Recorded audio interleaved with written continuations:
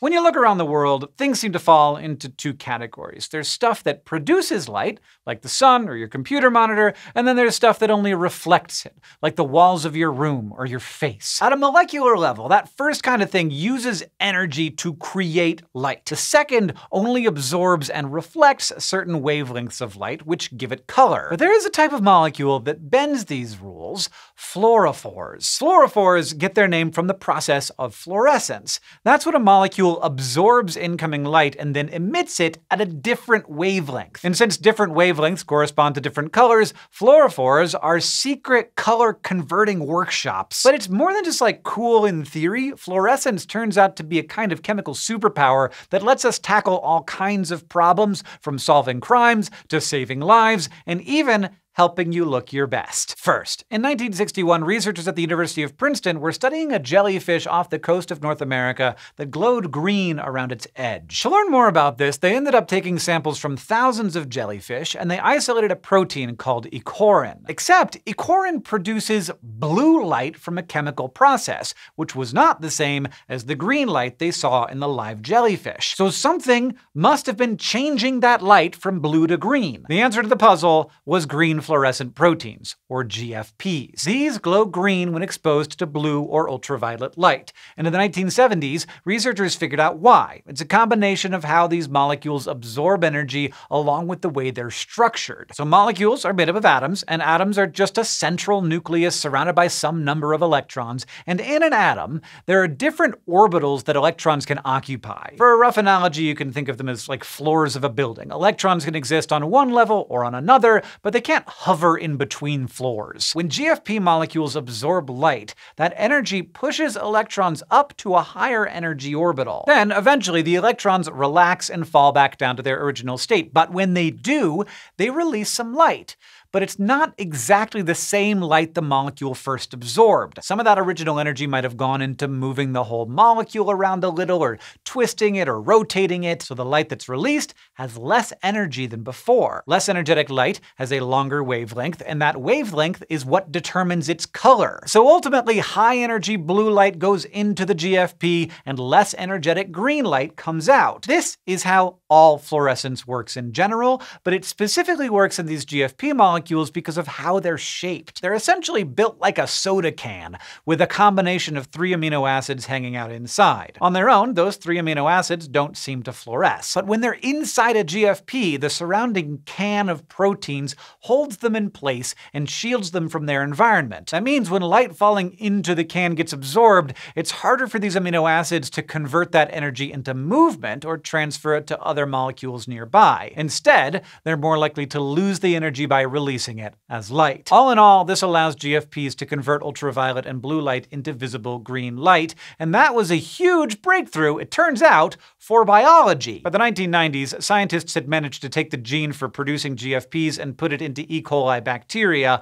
Then, when scientists observed the bacteria under a microscope and shined UV light on them, the bacteria glowed green. This introduced a groundbreaking tool for studying life. See, at a molecular level, life is basically just a bunch of genes that switch on and off, and those genes tell the cell to make or not make proteins that control biological processes. So by placing GFP genes alongside other genes, scientists can actually see cells switching certain processes on and off. And when I say see, I mean with their eyes. In fact, by tweaking the segment of genes that produces GFPs, they even managed to get the proteins to shine in colors other than green, which has been hugely helpful. Like in 2007, a study used different colored GFPs to tag the nerve cells in a mouse's brain as it developed. Afterward, the resulting nerve cells could be individually traced with different rainbow colors, which the researchers obviously called the brainbow. The next year, the Nobel Prize in Chemistry went to the researchers who discovered,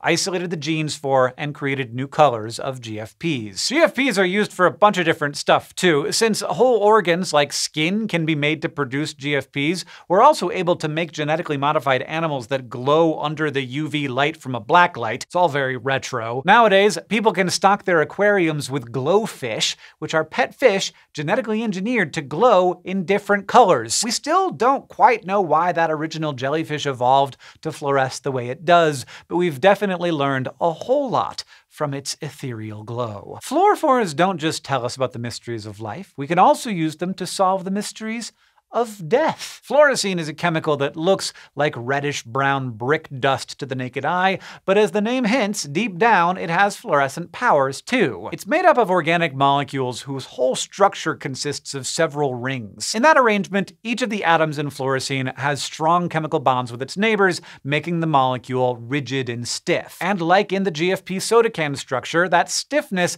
gives fluorescein its abilities. When blue light gets absorbed by a fluorescein molecule, the energy energy is stored by the electrons. But because the molecule is rigid, the electrons can't easily give up their energy to the molecule through movement or deformation. So the molecule ends up releasing most of its energy in the form of light, specifically a bright yellowish green color. And that has come in handy for medicine. For instance, doctors occasionally need to inspect blood vessels in the back of the eye for damage that might diagnose certain conditions. Like diabetic patients might have narrow or blocked vessels in their eye that could impair impair their vision or cause blindness. To inspect those blood vessels, they use a procedure called fluorescein angiography. The first step is to inject fluorescein dye into a patient's bloodstream. After a short while, the dye will be circulating in all of their blood vessels, including the ones in their retina. Then, the doctors can project blue light onto the retina to get those fluorescein compounds glowing. And then they can check out the shape of the blood vessels with a filtered camera. Meanwhile, fluorescein can also detect blood even when it's outside the body, which gives it a slightly more gruesome use in police work. Investigators can detect tiny droplets of blood using a modified form of fluorescein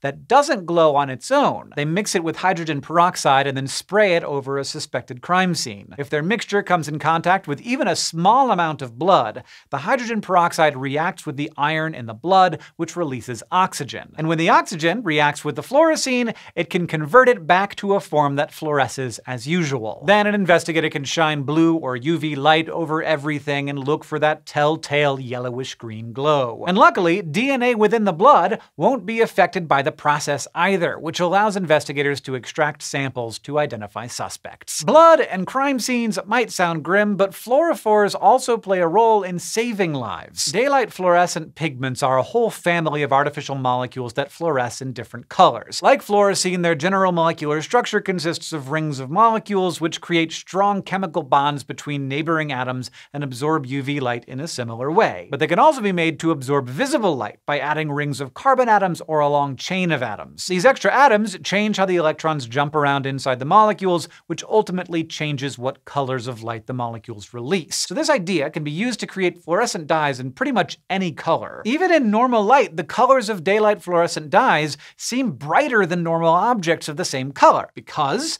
they are. In addition to reflecting light, they add even more light to their natural color through fluorescence. The fact that they shine visibly in daylight is what gives the dyes their name, and since the colors seem to almost leap off the material, daylight pigments make materials extremely visible. And that is useful in lots of scenarios. Safety jackets, road signage, and lifeboats benefit from the vibrant, bright colors of fluorescent dyes. Fire trucks and ambulances are covered with fluorescent pigments so they can be spotted from far away too. But bright colors aren't just for safety. Lots of clothing, face paint, and accessories are also made with daylight fluorescent dyes in them. As well as looking bright and colorful in the sun, those same clothes will shine just as brightly under a black light. So file that away for a future trip to the nightclub. I know we're all gonna go, face paint and rave out as soon as the COVID's over. Finally, while fluorescent pigments might bring some color to a Saturday night, it's a different kind of fluorophore that shows up at the office on Monday morning. Optical brighteners are organic molecules with rigid chemical bonds between their atoms.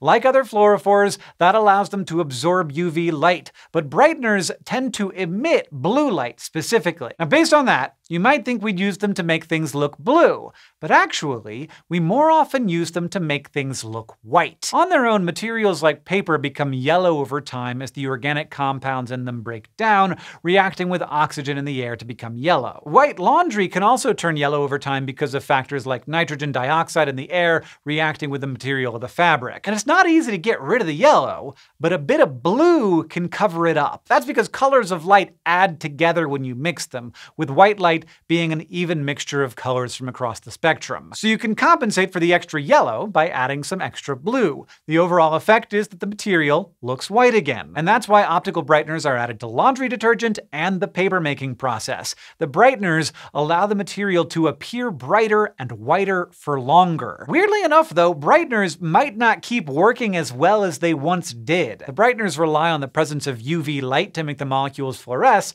but LED lights don't produce UV. So the more we switch to efficient lights like LEDs, the less effective fabric brighteners will be. The good news is that if history is anything to go by, new innovations with fluorophores will continue improving different areas of life, including laundry, but probably also things like medicine and forensics as well. But for now, if your white shirt looks a little yellow at the office, try blaming science. If you like watching SciShow, you might also like our podcast. It's called SciShow Tangents. It's a lightly competitive knowledge showcase where the hosts rack up points for teaching everyone the most mind-blowing science facts. If you like this video, you might want to start with our episode called Glowing Things, which includes talk of death fluorescence. I'm not going to tell you what that is. You have to listen to the podcast to find out. If you like science and laughing and light-hearted nerdy competitions, you can find SciShow Tangents anywhere you get your podcasts.